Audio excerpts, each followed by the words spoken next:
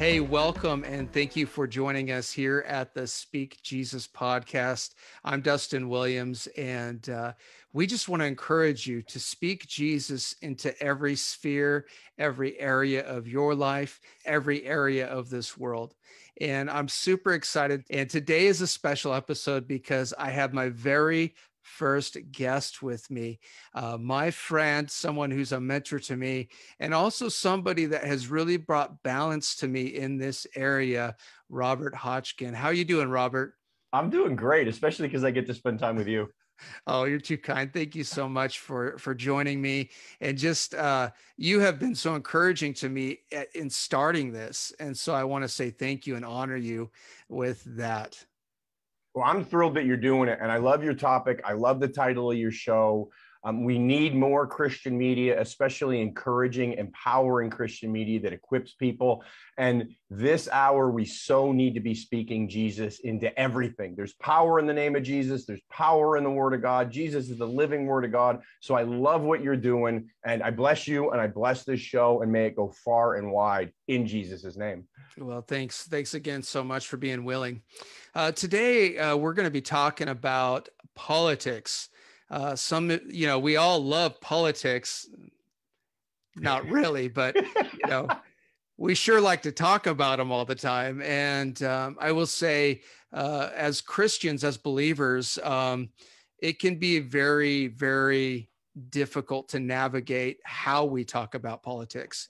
Uh, and there's so much going on in the world right now that really um, is triggering in a lot of ways to uh, Christians in the body of Christ. We see a lot of our freedoms being taken away. Um, just from a practical standpoint, but then we also see some things happening even in the church world that are concerning. I, you know, I'm speaking about uh, our neighbors to the north in Canada and and some of the um, uh, the very public news pieces that have been published with uh, churches being shut down, pastors being uh, jailed and uh, prosecuted uh, for for having their churches open, um, and it just seems like the church right now is is under some persecution. Some of that may be from the election that we went went through here in the U.S uh, last year and and has just kind of carried on. But um, you know, when it comes to the political spectrum, I don't think that it's worth us just fighting amongst each other. I really think this is an area we need to speak Jesus into. And Robert, this is one area that I feel like God has really given you a an anointing for. Um, that's really given you a good voice for. And so, uh, just talk to us a little bit about uh, what you think our response should be as Christians when it comes to uh, policies that we don't agree with. Well, you know, first of all, all the all the uh, uh persecution that you're talking about that we're seeing, it's nothing new to the church. It's fairly new to the North American church, though. It's fairly new to the USA church. But one of the things we have to look at is in Christ, there's always good news, there's always opportunity. And you know, you've heard me talk about this, Dustin, but I always think about when the disciples are saying to Jesus, Come on, man, just tell us what's going to happen. It'd be so much easier if you just tell us, if you just map it out for us. And he does. He says, Okay, we're going to go to Jerusalem. I'm going to be arrested. I'm going to be beaten and flogged. I'm going to be found guilty. I'm going to be tried, found guilty, and then I'm going to be executed. Then three days later, I shall arise. And everything I've taught you, you're going to step into because I'm making it all possible. And Peter's response to this is, Oh, let none of these things happen to you. Now, why does he say that? Because he's focused on the bad news. He gets so focused on the persecution. He gets so focused on the tried or uh, uh, uh, uh, found guilty, flogged, beaten, that he completely misses the good news and the incredible opportunity of three days later, I will arise. Persecution is real. The wickedness is real. The unrighteousness is real. What's going on in our nation is really wrong right now. We need to be aware of it, but we can't be consumed by it. We can't let it control us because if we do, then we can't control it. And it's what we're here for. The church, the first century church, was born from the diaspora of persecution. In this hour, we have such an opportunity to speak Jesus into these situations because that's what we're here for. And, you know, we've talked about this one on one, Dustin. We've talked about this in events that we've done together. There's a reason we don't go to home to heaven as soon as we get saved. It's better. I can't wait. But I'm here for a purpose. God hand selected me. He hand selected you. He hand selected, personally selected everybody listening to this to be here now as part of his solution. So is the persecution real? Yes. Is the cha- are the challenges real? Yes. Is the wickedness and darkness increasing? Yes. But God's really clear in his word how we're to respond to that. We don't have to do this, but we get to arise and shine, for our light has come. And when darkness is increasing on the earth and deep darkness on the people, the kingdom of God will arise in us and, and the glory of the Lord will appear upon us. So nations come to our light, and kings and queens and senators and congresswomen and prime ministers and members of parliament and fill in the blank will be drawn to the brightness of our shining. The way we do that is what you're teaching and empowering and equipping the people to do. How do we speak Jesus into these situations? How do we speak him? How do we decree him? How do we declare him? How do we live him? How do we represent and represent him in this situation? Because there's so much opportunity right now for God to show up and for us to see revival and reformation in our nations. Yeah, that's so important. And I think the key word that I heard twice uh, just ringing out is opportunity. And I will be honest with you. There's, uh, there's, I have not necessarily aligned myself with looking at all the bad as opportunity, but that's absolutely 100% how we should view it as opportunity to speak Jesus into these systems. And for a long time, uh, you know, the church has been silent on some things and loud on other things. And it seems like, you know, we ourselves at times uh, are kind of like this roller coaster of emotion, uh, depending on world events. Uh, something that I so love about you, Robert, is you have traveled the world. You spoke all over the world, and God has really given you open doors into other countries and nations.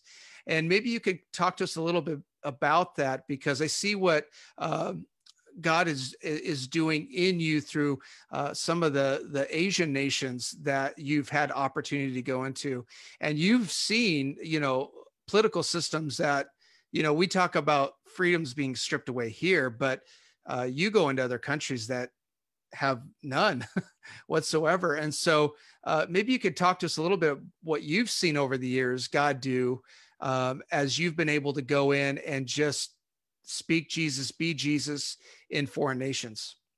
Yeah, you know, I've been very fortunate to be in different nations and different regions during times of real tumult and um, turmoil from Southeast Asia when coups were going on to um, uh, the United Kingdom during political uh, situations like Brexit to Eastern Europe after, you know, dealing with the fallout of the Soviet oppression.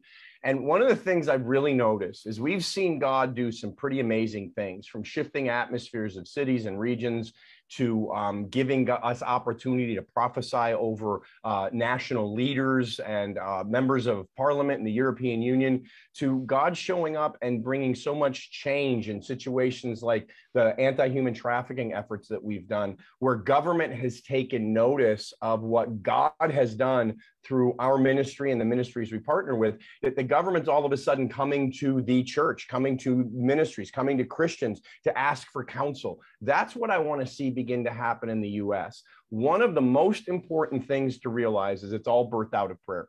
Everything is birthed out of prayer. And all too often, and we all hear this, and we've all said it. I probably said this without even realizing it. We'll say, well, I guess there's nothing to do but to pray. And we have to realize that's a ridiculous statement. The prayer is so potent and so powerful. Speaking Jesus is prayer.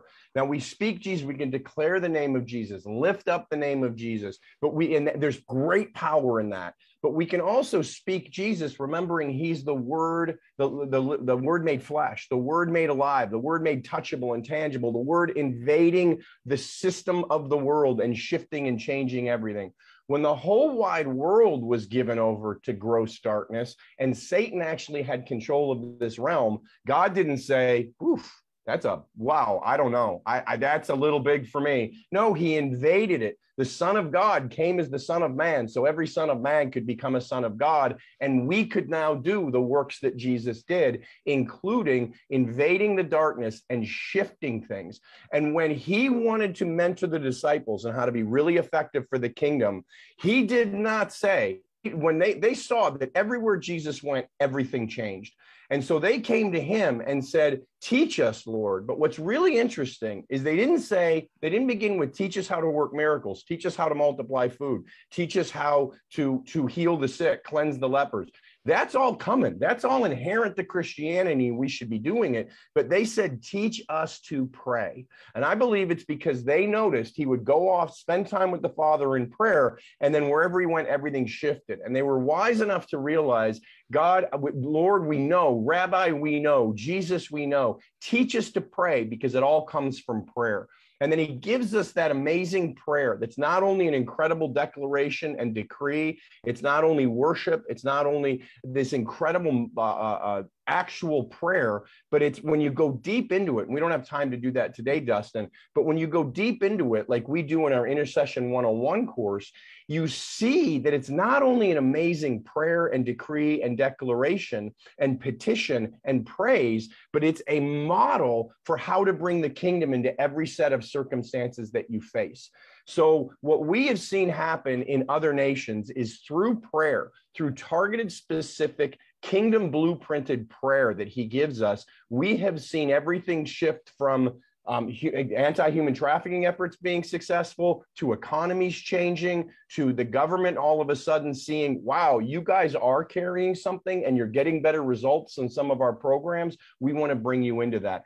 That's what we need to be doing. The darkness is dark but there is an opportunity for us to shine light into it. But it's very important a that we begin with prayer that's how we shift the nation and b that we how we go about it and we really have to be watching over our minds, our hearts, and our words right now. And I'm talking to me more than anybody because you know, Dustin, we can watch the news and it's it's irritating, it's frustrating, it's discouraging, it's mm-hmm. it's it's wrong.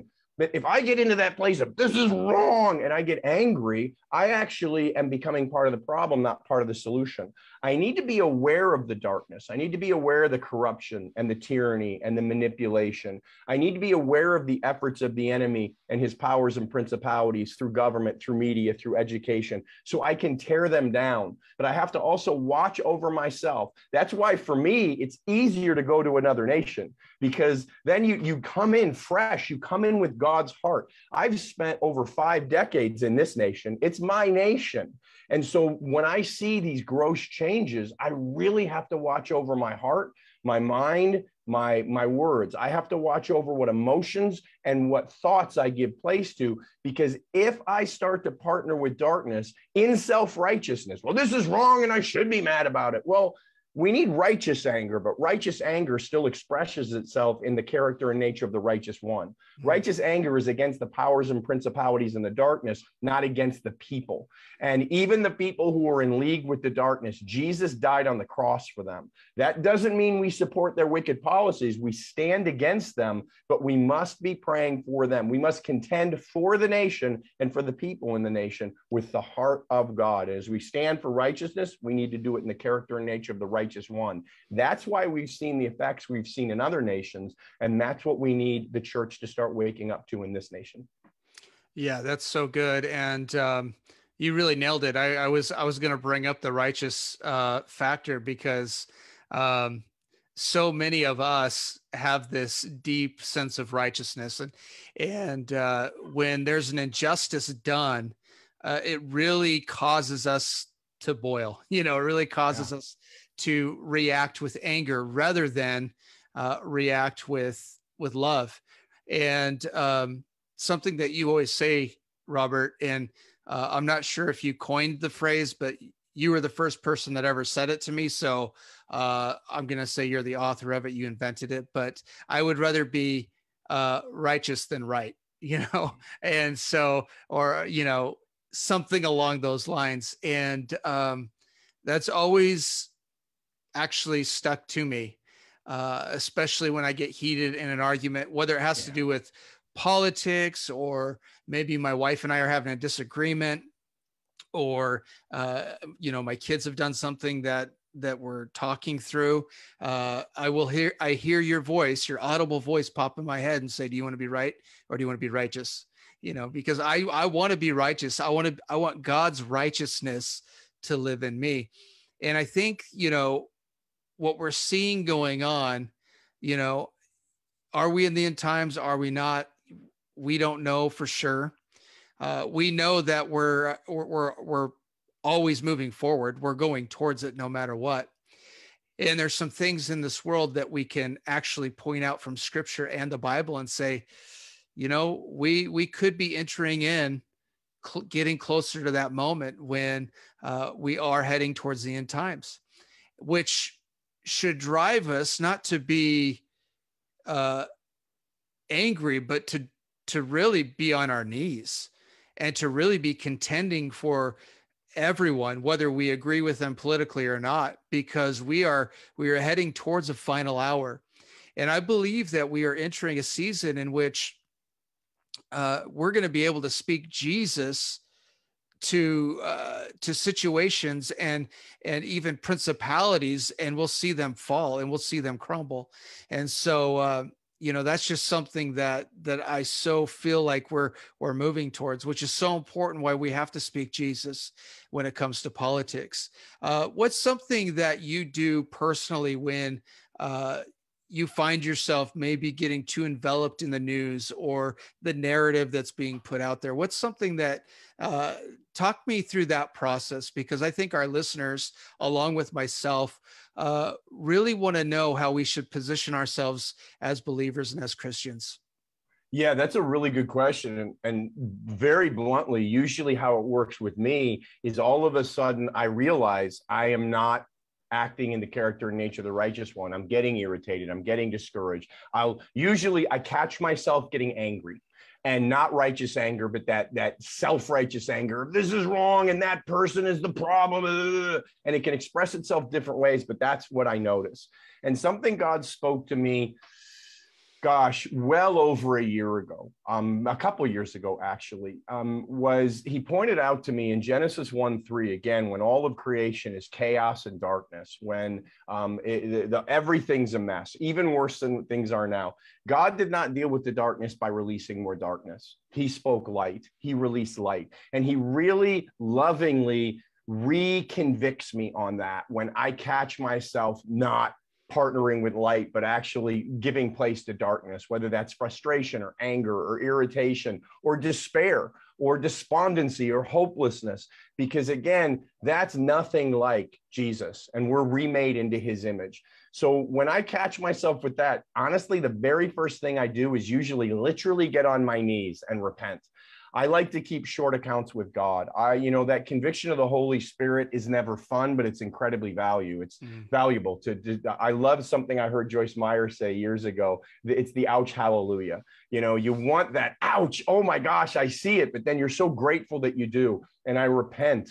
And um, and then I start to speak moving in the opposite spirit's important. So if I need to, I get in the word immediately. I mean, I, I, try to get in the word every single day, and things have been very, very busy for my family. We're in a very challenging season right now as my wife overcomes an attack of cancer. My normal devotional time isn't what it usually is, and I've got lots more on my plate than I usually do. And I have found myself a little stressed out and at times reacting to something as opposed to taking authority over something. And so one of the things I do is I will get in the word. And the other thing that I do to help shift the atmosphere in me, because I've got to shift this atmosphere before I can shift this atmosphere, is I intentionally praise the Lord. And when I can feel a heaviness or a darkness on me, the first thing I will do usually after repenting is make myself. I have this little thing I do praise the Lord, O my soul, and all that is within me, one. Praise the Lord, O my soul, and all that is within me, two. And I actually count off to 10 because I find somewhere along the way to 10 by praising the Lord and being intentional, by focusing on Him, like Paul says in, I think it's Philippians 4 8, maybe, where he says he's in prison, he's in an unfair, unjust situation, and yet he's saying, focus on the good things, focus on the beautiful things, focus on the praiseworthy things. Now, that doesn't mean be a disengaged, rose colored glasses Christian. It means if you really want to be effective in dealing with the unjust, dark things, it begins by focusing on him who is light. I always tell people and myself when I don't know what's going on or I don't like what's going on and I don't even understand what God is doing, I always focus on what God is like. And as I focus on God's character and nature, and I realize, God, you're not done with this country and you're not done with me, even if I just gave place to anger. I, as I focus on God, I'm filled with hope. I'm filled with expectation. I'm reminded that no matter how big the wickedness is in my nation, God is bigger.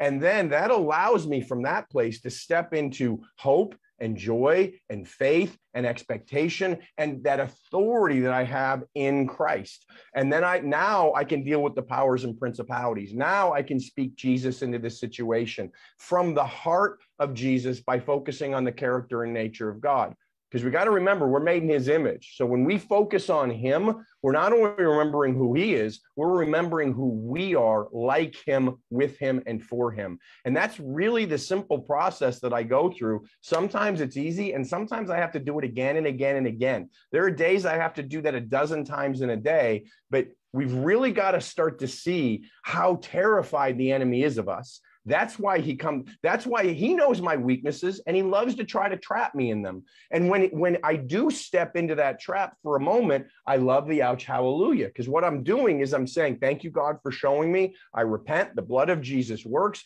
I cover those words I spoke or those emotions I allowed. I negate them with the blood of Jesus. And now I'm focusing on you. Now I'm realizing the enemy hit me in this area because I'm called to actually tear this thing down in the spirit and in my nation. If we can start responding like that, we're really going to shift things. But it really does begin with us taking authority over our mind, our will, emotions, our words. And then when we blow it, and we will, come on, we can't put some weird expectation on ourselves to be perfect in this hour. The perfect one came on our behalf because he knows we can't be perfect. That's not an excuse to sin. It's a opportunity when we do blow it to realize I'm not disqualified in my blowing it because I was never qualified in my doing it right. Thank you, Lord, for showing me. I'm going to shift now and specifically in the area that I gave place to the enemy for a moment. Now I'm going to speak Jesus and it's going to go forth and it's going to have impact. Amen. That was so good. And hopefully you all heard every word. And if not, go back and listen again because I think what you just said in the last couple of minutes, um, we could unpack all day. It, it, it really is that simple. And uh, just as an encouragement and um, kind of a reminder, uh, being frustrated and angry hasn't worked for anybody. And uh, trust me, I'm probably the king of you know frustration. Uh, but speaking the name of Jesus has torn down strongholds. It's healed the sick. It's raised the dead. It's uh, saved uh, the lost. It's uh, allowed the blind to see. And so we know that works. and so let's speak the name of Jesus into all areas. Uh, Robert, thank you so much for joining me today. And uh, how can people get in touch with you and uh, your ministry? Uh, easiest way would be my website, roberthotchkin.com. That's kind of the hub they can connect with the different ministries I'm involved in through that. They can get all the free media. There's a free teaching there. There's links to the podcast. There's links to the broadcast. But roberthotchkin.com, there's all sorts of great stuff for them there. That's the easiest way. Yeah, and you're you're right in the middle of you you have a teaching out there, but you're kind of refining it called Revivolution, and that's going to be dropping pretty soon. And so, uh, if you're interested in shifting a nation, um, I, I, highly recommend it. I'm going through it right now and it's blowing my mind. So, Robert, thank you so much. I appreciate you and I honor you. Um, would you mind uh, just just saying a quick prayer for for for our nation, uh, for our political system, not just here in America but around the world? Yeah, Lord, we thank you that we created that you created this nation and every nation with a plan and a purpose. And God, we come into agreement with that right now. And Lord, as your people in the earth, we cry out over our nations, Hosanna, Hosanna, Hosanna. We welcome you, Jesus. We want you, Jesus. We worship you, Jesus. Come, King Jesus, and rule and reign, first in us and then through us in our nations. Teach us how to take our nations back in the spirit, God. Teach us how to lay hold of the mighty weapons we have in you to tear down the powers and principalities that are trying to turn our nations to darkness. You are more than enough, Jesus. So we praise you, we worship you, we want you, and we welcome you into our nations. King Jesus, come in. King of glory, come in. King of righteousness, come in. Lord, invincible in battle, come in and win every battle in us and every battle through us on behalf of our nations that you created for your plans and purposes. Amen. Amen. Amen. Amen. Amen. Thank you once again. And thank you for listening to us today, whether you're listening on our podcast or watching this.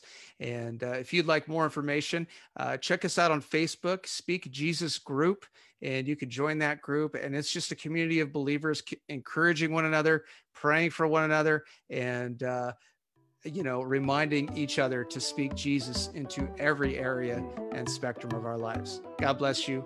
We'll see you soon.